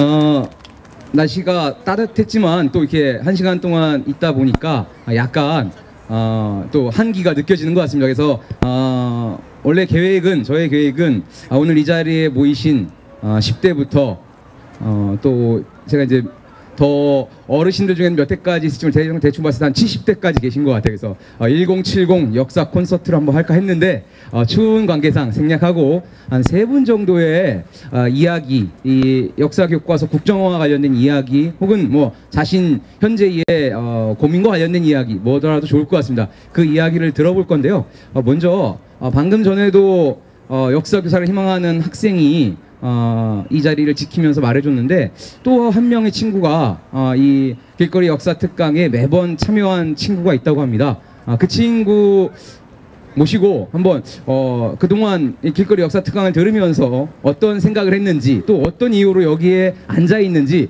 이야기 들어보는 시간 갖도록 하겠습니다. 아마 누군지 알 겁니다. 스스로 일어나네요. 큰 박수로 맞아 주십시오. 안녕하세요. 저는 역사학자가 꿈인 학생인데요. 이제 스무 살 돼서 대학으로 들어가는데 국정교과서 사태를 듣고 나서 그 제가 평가했을 때는 박근혜가 스스로 역사의 단두대에 올라선 게 아닌가 평가를 했는데 아니 근데 이제는 소녀상까지 철거하겠다 그런 얘기가 나오고 나서는 더 이상 할 말이 없더라고요. 아 그럼 속에서도 그 역사 강의도 듣고 소녀상도 지키고 뭐 그러면서 많이 느꼈던 거는 여기 계신 모든 분들이 구심점이 되어서 앞으로 이- 이런 사태를 해결해 나가야 하지 않나 그런 생각이 들었습니다. 감사합니다. 아, 네. 어, 어떤 말보다 아, 그동안 이 길거리 역사 특강에 한 번도 빠짐없이 이곳을 지켰다는 것 그 행동 자체가 아, 정말 아, 우리나라 역사 교육의 어, 미래가 밝다. 한 명은 미래의 역사 교사가 있고 아, 또한 명은 아, 미래의 아, 역사학자가 있는 것 같습니다. 아, 다음으로는 어, 학교에서 역시 어, 저희와 함께 아이들을 가르치는 아, 선생님이시고 아, 지금은 어, 비록 법의 노조가 되었지만 법의 노조가 되었다고 며칠 전 다시 또 한번 이상한 판결이 내려졌지만 아, 열심히 아, 싸우고 계신 아, 변성호 전교조 위원장님 모시고 이야기 한번 들어보도록 하겠습니다. 큰 박수로 맞아주십시오. 예, 소개받은 변성호입니다. 아, 오늘 종광이잖아요. 근데 과거 이렇게 경험을 보면 종광은 저건 즐겁습니다, 그죠? 아, 뭔가 끝난 것 같고, 어, 뭔가 열심히 잘한 것 같고, 또 미래를 또 기약할 것 같기도 하고. 근데 오늘은 어, 마지막 그 10강을 들으면서 좀 아쉽다라는 생각을 좀 했어요. 아, 조금 더 이어가야 되는 거 아닌가.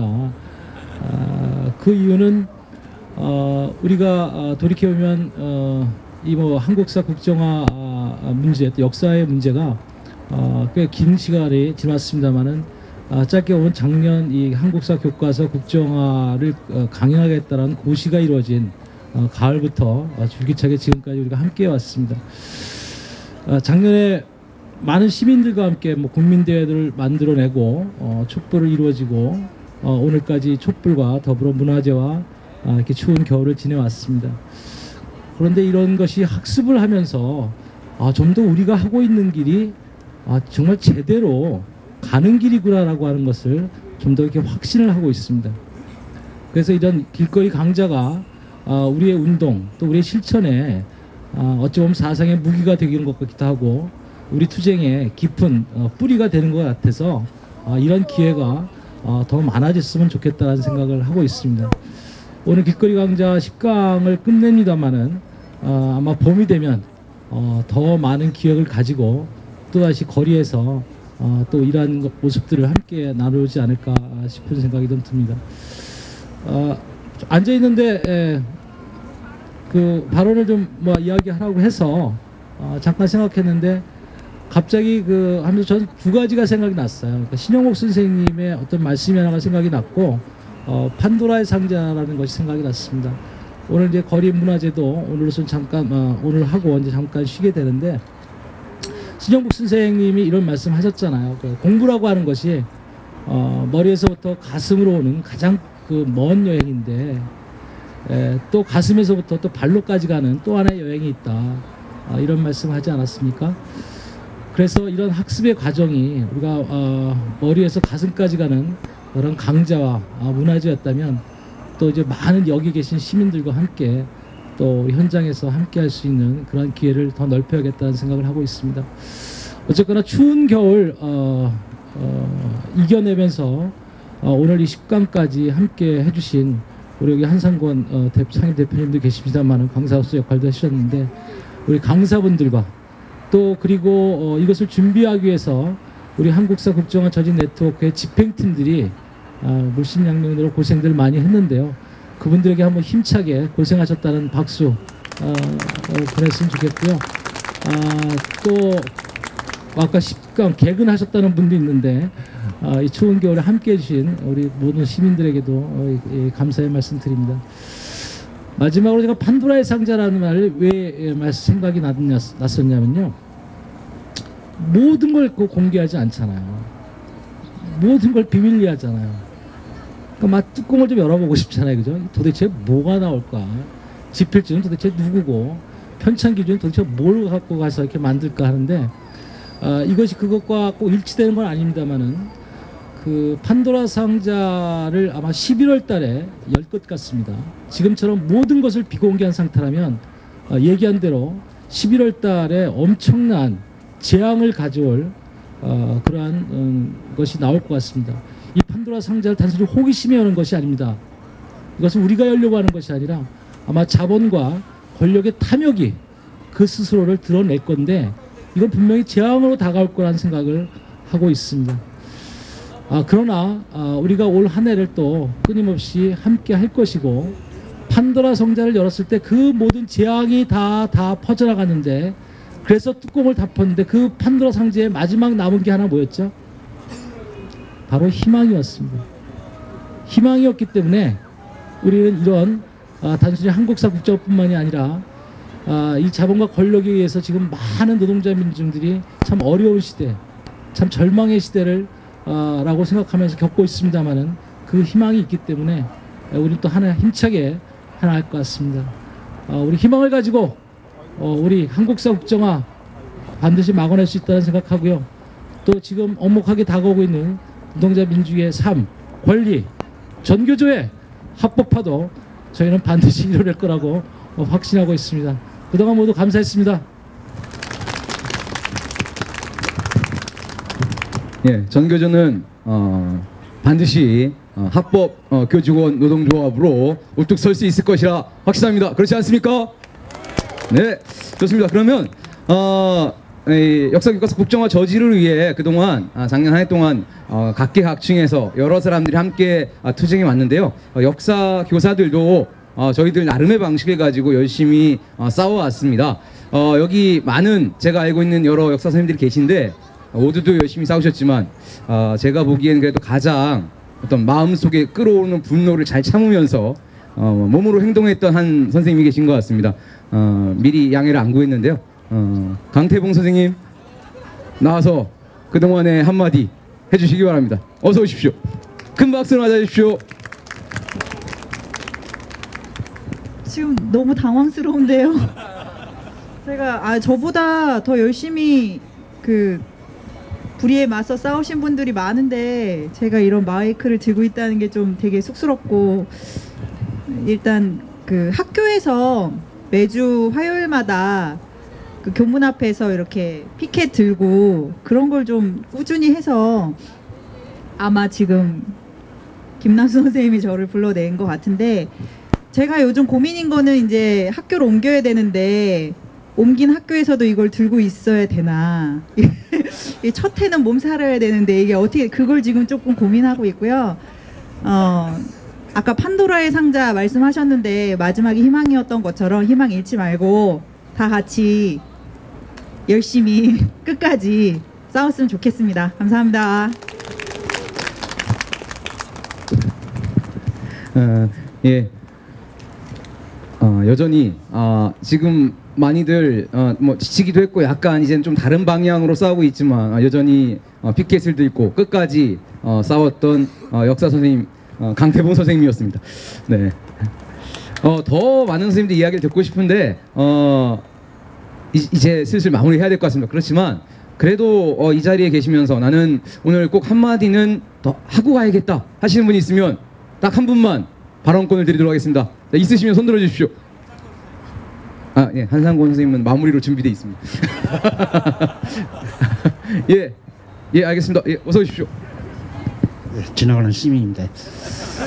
음, 음, 저는 좀 이런 말씀을 좀 드리고 싶은데요. 음, 사실 우리 뭐 역사 교과서뿐만 아니라 모든 교과서가 전체적으로 우편향입니다. 우편향. 어, 좌편향 교과서가 없었기 때문에 현재 국정화 저지 여기까지 왔다고 봅니다. 역사 선생님뿐만 아니라 모든 그 교과 선생님들이 진정한 그 정말 좌가 뭔가 어, 이거 한번 좀 생각하시면서 어, 전개 자본주의에 반대하는 걸 좀 좌라고 보는데요. 결과적으로 자본의 탐욕 때문에 생기는 문제들 아닙니까? 어, 정말 자본주의에 반대하는 그런 교과서를 그런 좌편향 교과서가 나와야 중간을 잡아갈 수 있습니다. 근데 현재 중간도 없, 없죠 우리는요.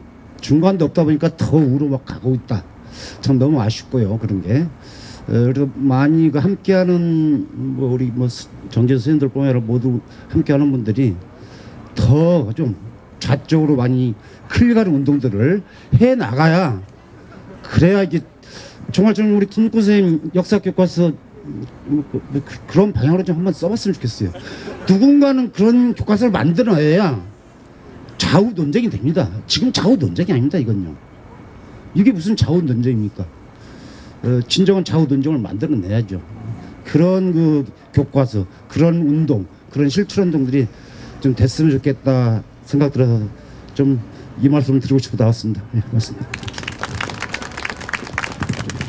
예, 아, 좌우가 함께 균형을 이룰 수 있는 사회, 아, 그런 사회를 아, 만들었으면 좋겠습니다. 자, 그러면 아, 마지막으로 어, 지난 한 해 한국사 교과서 어, 국정화 저, 저, 저지 네트워크 아, 상임 대표로서 어, 모든 사람들의 의견을 모아서 아, 힘겨운 투쟁이지만 끝까지 아, 함께하는 그래서 희망을 만들어낸 아, 한상권 교수님 모시고 마무리 발언 들어보도록 하겠습니다. 아니, 뭐 어, 네, 한상권입니다. 어, 저는 역사학자로 뭐 역사학자로서 2015 10, 15년이죠.을 어, 이렇게 되돌아보면서 어, 참 어, 은총을 받았다 이렇게 생각을 하고 있습니다. 참 박근혜를 만나서 어, 아, 사실 이 국정화가 박근혜 안 했으면 없었을 거고 그 국정화를 내가 만약 안 만났다면은 학자로서 내 모습을 정립할 수 있었을까 이런 생각이 상당히 들어갔고 이 아무나 받을 수 없는 은총이죠. 이 은총을 참 받아갖고 학자로서 제가 한번 제 다시 생각할 수 있게 되고 또 이렇게 어떻게 보면 뭐 아, 공부하는 학자가 연구실에만 아니고 길거리도 나오게 될 수 있는 계기는 역시 제 어, 상당히 좀 박근혜 대통령한테 고맙게 생각하고 어, 이 은총을 잘 살려갖고 아까 말씀하신 것좀 박근혜가 사실 일방적으로 몰아붙인 것 같지만 사실 우리가 저항한 측면이 상당히 많습니다. 그리고 역사자들이 다 한번 입- 역사학은 어떻게 돼야 될 것인가에 대한 입장을 발표하지 않았습니까? 언제까지 시국선언이라는 게 다 우리 사회가 어떻게 돼야 될 것인가 이거 갖고 학자가 신- 선언 시국선언했지 역사학자 전체가 역사학은 어떻게 될 것인가 어떤 방향으로 갖고 왜 가르쳐야 될 것인가 이런 입장을 밝힌 건 아마 이 처음인 것 같습니다. 국정화가 74년 74년에 아마 10월 20일 때 되지 않았습니까? 그때 역사자들이 한마디도 못했거든요. 그냥 뭐 저는 그렇게 생각해요. 왜 한마디도 못했냐는 게 하나는 폭압적인 이유도 있겠지만 또 하나는 역시 민주주의라는 이 신념보다는 그 당시 박정희가 내거는 민족주의 담론 속에 민주주의라는 담론이 하위 개념으로 내면화됐기 때문에 학자들이 그걸 어, 비판 못했다고 생각합니다. 한 40년 지나면서 학자들 자체에서도 민주주의라는 담론이 민족주의라는 그 담론을 어, 이길 수 있을 만큼 성장했고 역사계가 성장했기 때문에 이번에 그, 어, 그 어떤 그, 어, 역사자들 전체가 어, 이 서명을 할 수 있었게 그 발표할 수 있게 됐기 때문에 아마 사학사적으로 볼 때도 2015년 이 사태는 상당히 의미 있는 역사계가 한 단계 도약같이 있는 그리고 역사학이 앞으로 어떻게 될 것인가 하는 것을 다시 한번 성찰할 수 있는 기회. 아마 이게 박근혜가 주지 않았으면 우리가 그런 성찰할 수 있는 기회가 없거든요. 전 사회적으로 있는 기회를 우리가 받은 은총의 기회였다 역사계 자체로서는 상당히 은총의 기회였고 또 국민들이 역사에 대해서 또 상당히 많이 관심을 갖게 된 계기도 또 만들어졌죠. 그 전까지 뭐 역사책이 그렇게 팔리지, 팔리지 않았을 테지만 많은 그런 기회를 줬고 또 더더 더 고마운 거는 국민들이 처음엔 국정을 많이 찬성을 했지만 지금은 국민들이 국정화가 안 된다는 입장을 바꿔갖고 우리를 얘기를 들어준 거고 우리 편을 들어준 거죠. 어, 그런 면에서도 상당히 고맙고 그래서 어, 2015년 한 해는 이제 은총의 한 해였고 근데 뭐 은총을 저만 받을 수는 없으니까 2016년 그럼 뭐를 할 것인가 해서 저희가 2월 4일 날 에, 그러니까 다음 주 목요일이죠. 어, 이 국정화에 찬성했던 세력을 이번 총선에서 심판하겠다는 기자회견을 국회 정론관에서 2월 4일 날 10시에 합니다. 어, 올해가 이제 총선이죠. 총선에서 시민사회단체에서 여러 가지 의제를 갖고 이제 아마 얘기를 하겠죠. 심판을 하겠다 했지만 아마 그 총선에서 시민사회 자러 의제 중에서 아마 저희 시민단 저희 국정화 저지네트가 처음으로 포문을 여는 거라고 생각합니다. 그래서 그 지금 저 기본적으로는 이 국정화를 찬성했던 그, 국- 어, 어, 그 어, 김무성, 황우여, 이정현 이런 사람들은 아, 공개적으로 저희가 심판을 해야 된다고 생각합니다. 그것이 우리 역사의 역사의 심판이라는 걸 그 사람들한테 아, 한번 알, 아리켜줄 필요가 있다고 생각이 들고요.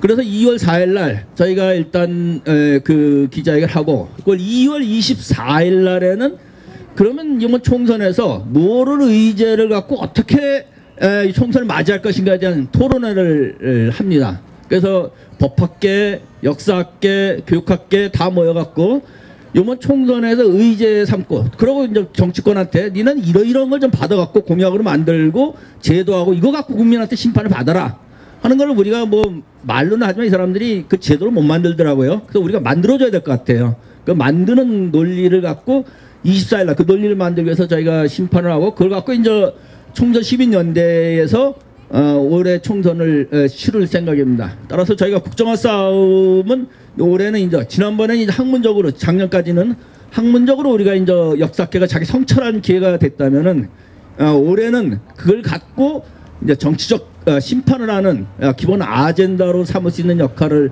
할 수 있을 것 같다. 훨씬 더 활성화된 어, 싸움을 할 수 있지 않을까 생각합니다. 더 다이나믹한 국정화 반대 운동이 이루어지지 않을, 아, 어, 이루어지지 않을까 생각하고 아, 많은 국민들이 관심을 가져주시고요. 또이 국정화 결국 주- 아까 뭐 변성우 위원장도 말씀하셨지만 모두 측의 핵심, 핵심적인 건 담론 투쟁에서 이겨야 됩니다. 담론 투쟁에서 지면은 그 다음에는 뭐 안 되죠. 그래서 이 오늘까지 한 이 10강까지 강의는 어, 3월 3일절을 기념해 갖고 그때까지 책을 내게 낼 생각입니다. 그래서 지난주에 이제 어, 지필진 모임이 가졌는데 사실 3일절까지 나오면 책을 내려면 한 15일 정도 이전에는 원고가 나와야 되니까 그러니까 설 연휴 끝나면서 필자들은 다 원고를 전달해 주기로 그렇게 됐습니다. 그래서 이 책이 나오게 되면 저 앞에는 이제 쭉 쓰고 뒤에 우리가 중요한 담론과 관련되는 그 유엔 인권이라든지 헌법재판소 판결문이라든지 이런 자료들 보이테, 보이테스 바우 협정이라든지 이런 걸 뒤, 뒤에 보조 어, 저 부록으로 원자료를 넣어갖고 국민들로 하여금 또 원자료도 읽을 수 있게끔 이렇게 해서 좀 책 계획이 다 끝났습니다. 그래서 아, 3월 1일 날 기념해갖고 우리가 그날은 아, 이 자리에서 골든벨 행사도 할 거거든요. 골든벨 행사하면서 그날 아, 그 아, 출판 기념도 그렇게 할 거니까 이 은총을 더 확대시켜 갖고 우리 역사학계 전체가 한번 자기를 성찰하는 길 통해서 성찰할 뿐만 아니라 불의 심판도 내릴 수 있도록 그렇게 노력을 할까 합니다. 다 같이 협조해 주시기 바랍니다. 감사합니다. 예, 아, 다가오는 3.1절이 어, 기대됩니다. 어, 결국 어, 우리의 싸움은 어, 민주주의를 지키기 위한 아, 그런 싸움이었던 것 같습니다. 어, 한국사 국정화 이후에도 어, 너무나 많은 어, 민주주의를 파괴하는 어, 행동들을 너무나 서슴없이 너무나 부끄러움 없이 하고 있는 어, 현재의 정부와 우리가 대항해서 어, 다가오는 총선에서 꼭 민주주의를 파괴한 사람들을 떨어뜨리고 아, 민주주의를 아, 지켜내는 일에 함께했으면 좋겠습니다. 자 오늘 이렇게 아, 길거리 역사 강좌를 아, 종강하면서요 아, 마지막 기념 촬영할 건데요. 잠시 전에 안내 말씀드리겠습니다. 어, 오늘 어, 한일 합의 무효 선언을 위한 국민 행동의 날입니다. 그래서 지금 현재 어, 시청광장에서 2시에 아, 집회가 열리고 있고요. 아, 5시부터 행진이 이루어집니다. 어, 시간이 허락되시면 함께 해주시면 좋겠고요. 또 6시에는 어, 소녀상 앞에서 어, 대학생들이 이 소녀상을 지키고 있습니다. 어, 5차 어, 토요 시위가 이루어지니까 함께 하실 수 있는 분들 꼭 함께 해주셨으면 좋겠습니다. 자, 아, 함께 해주셔서 너무 감사드리고요. 모두 이 앞으로 나오셔서 요 뒤를 배경으로 해서 어, 기념 촬영하고 마치도록 하겠습니다. 네, 감사합니다. 앞으로 나와주십시오.